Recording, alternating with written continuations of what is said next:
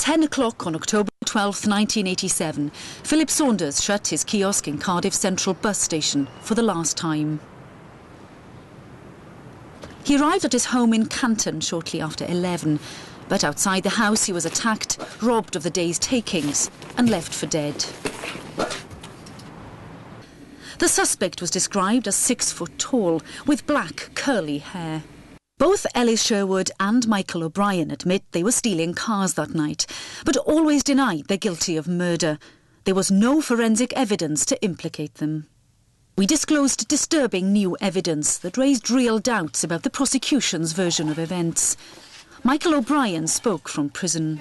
I can honestly say that myself, Darren Hall, Ellis Sherwood, are all innocent. We're all innocent, and I fought from day one to prove our innocence. Last December, after 11 years in prison, the Cardiff newsagent three were released on bail. Despite the relief that all three were free, it's been a difficult year for their families. Michael O'Brien's son Kyle was just a baby when he was sent to prison. His baby daughter and father both died before his release.